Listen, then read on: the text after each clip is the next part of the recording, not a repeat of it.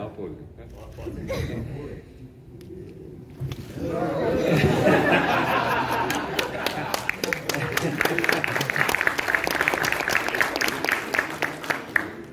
Boa tarde, pessoal. Boa tarde. Boa tarde. Tudo bem? Tudo. Feliz Natal. Eu quero ser o primeiro que deseja Feliz Natal para todos vocês. Ah. Edgar, Sim, muito obrigado por sua presença aqui.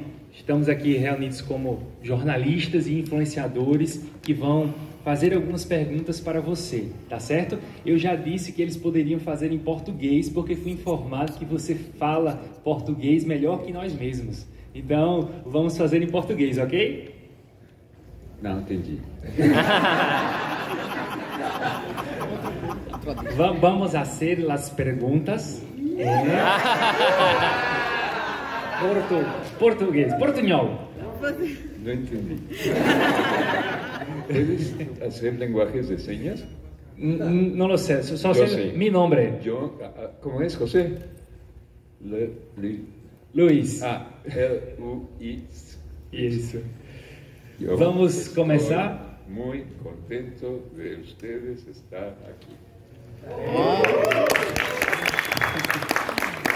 Y también me habla bloco con la pared. Ah. Bon, je suis extrêmement contente de nous encontrar ici. É, vamos começar com a pergunta do Jordan, do canal Making Off. Jordan, Quem é? por favor. Jordan. Boa tarde. Tá, vai ah, microfone. Boa tarde. É um prazer imenso falar com você, é uma grande honra. Hoje é meu aniversário conversar contigo é meu presente de aniversário. Então estou muito feliz mesmo, porque você marcou minha infância e certamente marcou a infância de muitos que estão aqui. Parabéns. Muito obrigado. Minha pergunta é o seguinte: com os streams, é, muitos tiveram a oportunidade de conhecer outros personagens seu do universo Chesperito, como o Botijão, que eu adoro, do Chão Piratas. Personagem muito legal. O que é que você, você sentiu que muitas pessoas passaram a lhe reconhecer desses novos personagens com essas novas plataformas? E o que é que você acha do fato de que agora a gente não está conseguindo assistir Chaves, Chapolin, porque tem um impedimento jurídico, acho que não pagaram o aluguel para poder fazer essa transmissão, né? O que é que você acha disso? Acho que tiveram uma briga uh, na empresa Televisa e os filhos do Roberto Gomes Bolanos. É, é complicado, porque a Televisa é uh, uh, o dono de todo o material, porque os episódios foram filmados ali na televisão. E os direitos da, das personagens estavam de Roberto Gomes Bolanes. Estava tá, um divórcio aí, como todos os divórcios sempre.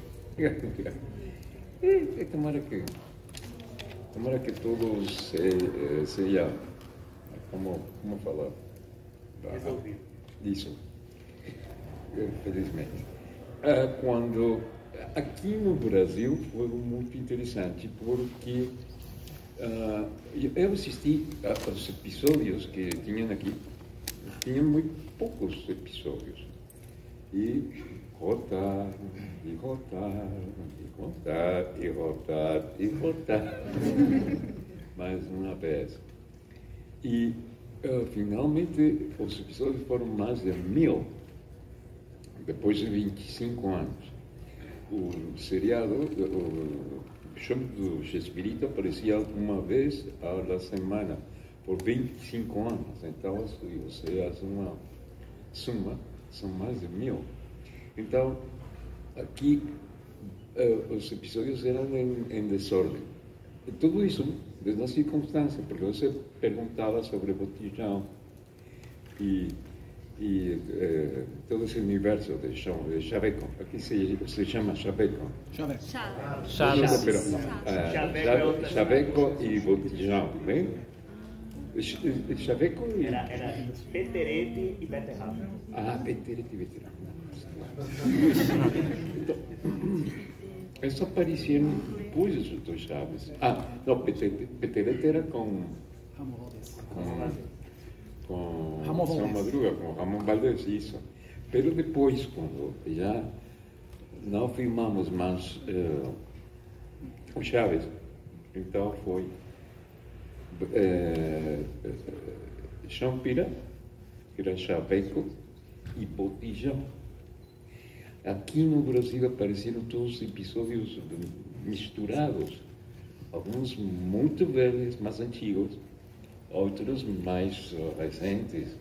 E, e ainda assim, eu devo agradecer a todos vocês, todos vocês, todo o público brasileiro que aceitou tudo, felizmente.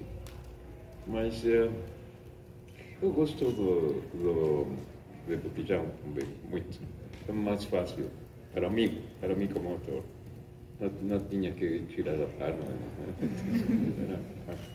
Contestou isso sua pergunta ou não? Obrigado. Muito bem. Vamos escutar agora Giovana. Giovana. Giovana. E Vitor, que são juntos do canal Give Media. Give Media. Isso. Agência Give Media, perdão. Oi. Olá, é Olá. muito prazer.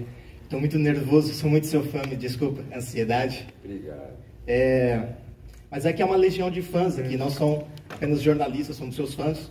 E é um fato muito engraçado que aqui no Imagine Land, é, todos nós da equipe identificamos os, os atores que vêm ah, em função de um filme ou uma série e chamamos eles pelos nomes dos atores, evidentemente.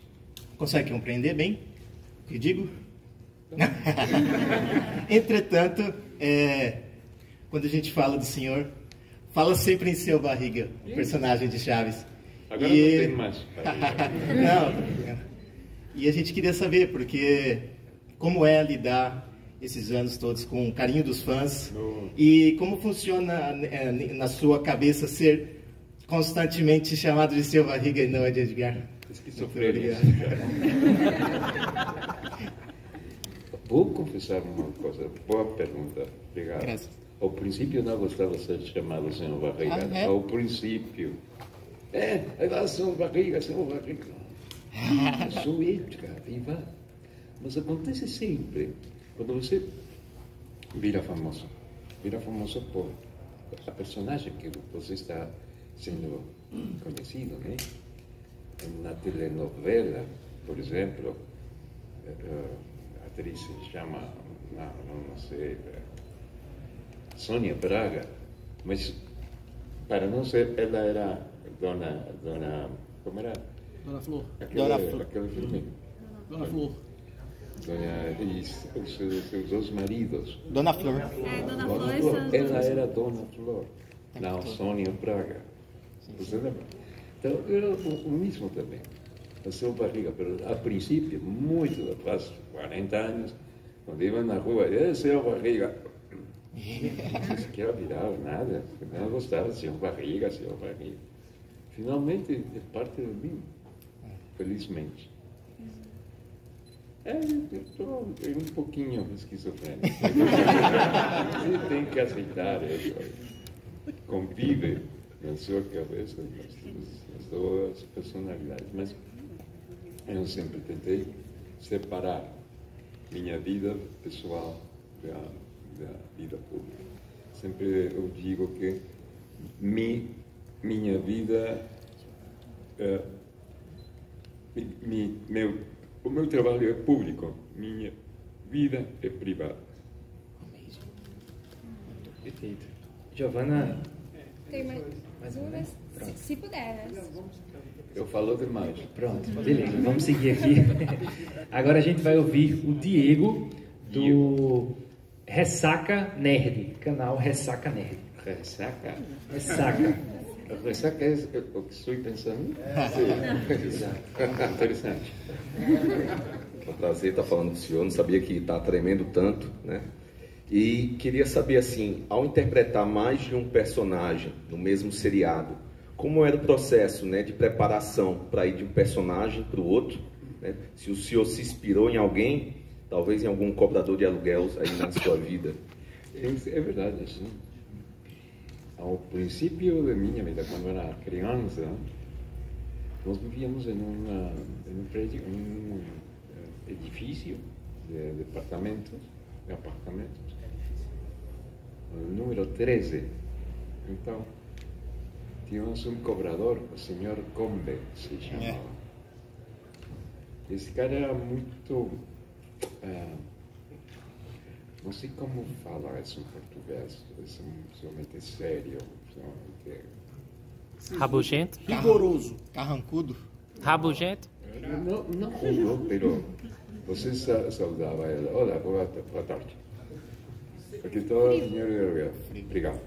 É o seu recibo. Até, até o próximo mês. E foi.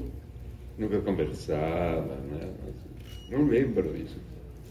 Então, quando fui convidado para interpretar o senhor Barriga, é, é Roberto, Roberto que dirigia, escrevia, ele era o produtor também do serial, dava a liberdade para todos os seus atores para criar uma personagem.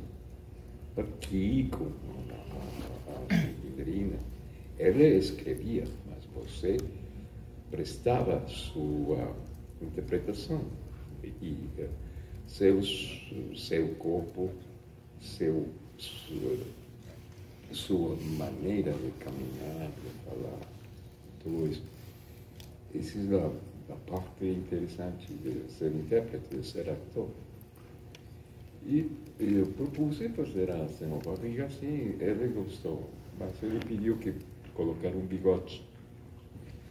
E eu usava, ainda usou óculos de contato, lentes de contato, porque ele pediu para mim que fosse mais, uh, que parecesse mais uh, maior. Eu, eu, tinha 22 anos ao, ao princípio. Então, pensei assim, Combe, como, como haria. E assim foi. Você, quando vai interpretar quando você tem que criar uma personagem, você presta seus lembranças, seus sentimentos, as coisas que você tem para convencer primeiro ao produtor e depois ao público. E obrigado. Muito bem, vamos ouvir agora a Carol Tá por aí a Carol? A Carol? Carol do podcast. Qual é o nome do seu podcast? Não Vou Mentir. Podcast Não Vou Mentir. Carol. É um prazer, né, estar falando com você. Sou muito sua fã, também até com o bonequinho aqui. É, eu queria saber como é que você, assim, cuidou da sua saúde mental com um inquilino e devendo 14 meses de aluguel. Não sei. Roberto escreveu isso. Não sei por que 14 meses. se, se senhor Combe existiera ali na, na vizinhança, não esperaria 14 meses, com certeza. Mas isso era divertido. Era, criar uma situação dramática, totalmente uh, fora da realidade. Como das uh, batidas, da, da, da, como, como fala Dona Florinda Batidas. Isso a, a seu madruga, é, isso não acontece na realidade. Isso provoca a risada, isso provoca empatia, provoca simpatia. Então, é, cobrar, sem cobrar 14 meses de aluguel, ninguém, eu não fazia.